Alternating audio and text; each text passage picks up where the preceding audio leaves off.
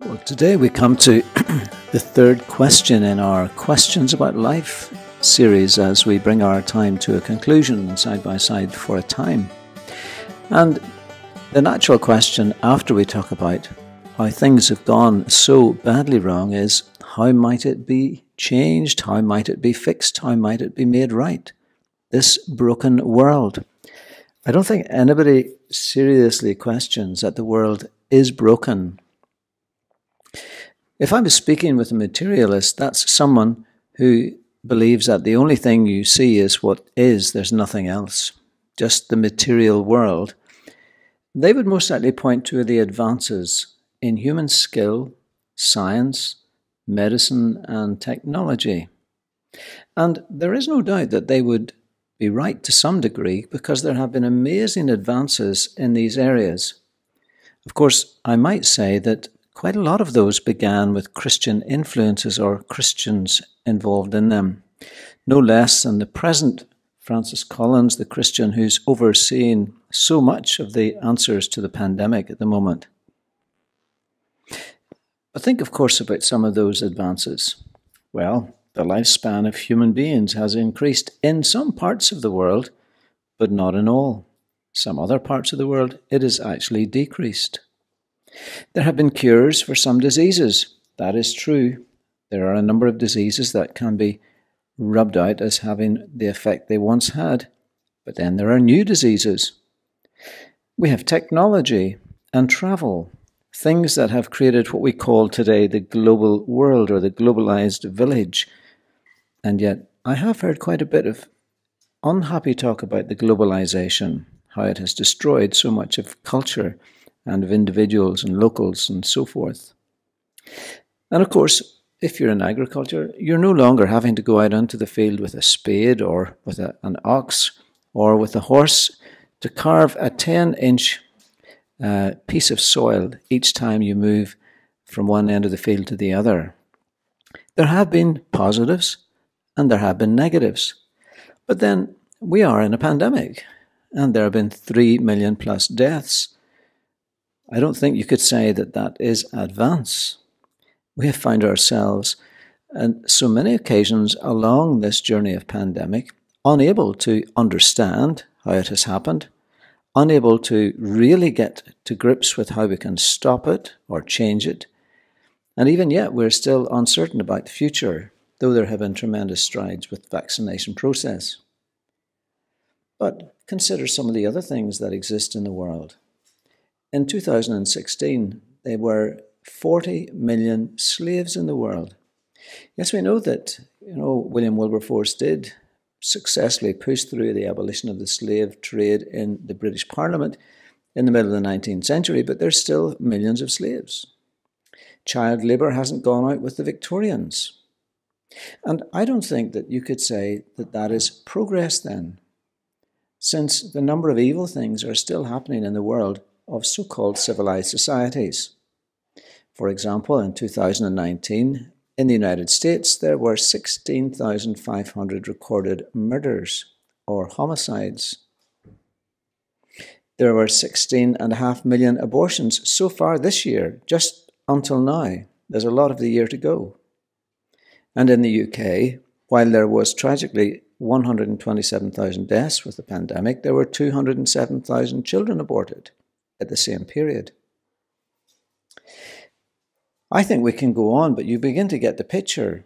AIDS victims so far this year is 42 million, suicides 424,000. I don't think that there's any indication that the materialist has got an answer to the problems of our broken world in progress. And then, if you were to speak to the Hindu, they might point to the fact well, yes, life is hard as it is, but there's the hope of reincarnation that you may well be reincarnated at a better place in the social netting and, and, the, and the packing of life. You might be further up. You might be further down, of course. The Buddhist is waiting for nirvana, where there's no actual fact to say, yes, you reach nirvana. And sometimes these views actually hinder people from escaping suffering and, and the misery that they live in. The Muslim response might say that it is the will of Allah and we ought simply to accept it. So, what is your answer to the suffering and the pain and the misery in the world? Well, as a Christian, my answer is to be found still in Genesis chapter 3. It's there where we find well, not only creation, but we find the fall and we find the origins or the, the beginnings of what will become the solution. When God is speaking to the individuals involved in the fall, Adam and Eve, and to the serpent who is the symbol of Satan, he says, I will put enmity between you, that's the serpent, Satan, and the woman, between your offspring and her offspring. Enmity is I'll put a war, there'll be warfare between you, and he, that is, he, that is, the seed of the woman will bruise your head, I mean, he will crush you, he will destroy you and you will bruise his heel in the process. Now, you've got to take my word for it, but if you start to read the Bible, you'll discover that this conflict, this enmity between the man or between the woman and Satan is part of the story. It's there right the way through, all the way to the end of the narrative of the Bible. And of course, it culminates in the death of the Lord Jesus Christ on the cross, where he truly bruises the head of Satan, and in the process, he himself is crushed in a physical way. He is killed, but he rises from the dead again.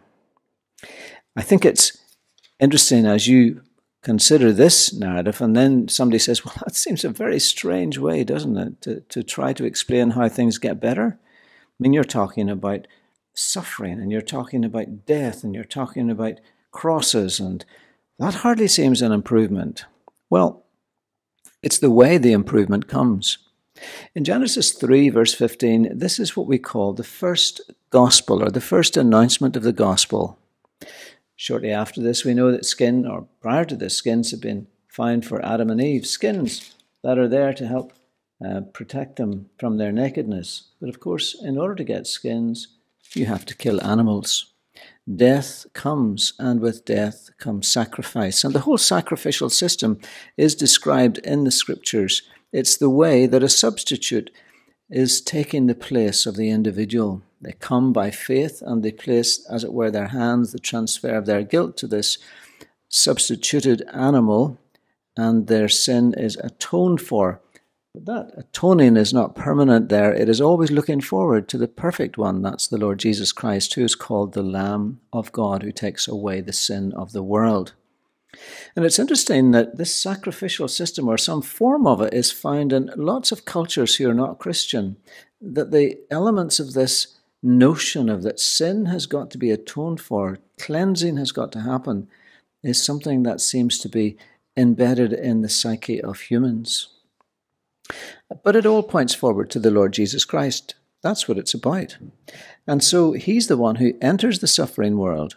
He's not absent. He embraces the suffering, he experiences the suffering, and he will one day end it.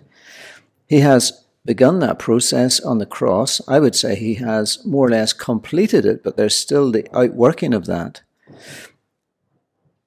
We know that he came and he rolled back the effects of sin, even in his ministry, when he stepped into the garden of the or the wilderness that once had been a garden, as it were, the wilderness, and was tested there, recorded in Matthew 4. There he comes as a second Adam, and he engages with Satan, and he wins. He rolls back the effects of sin and the miracles. Jesus is the one who has come to deal with the, the things that have gone wrong, the sin and the brokenness and the disobedience.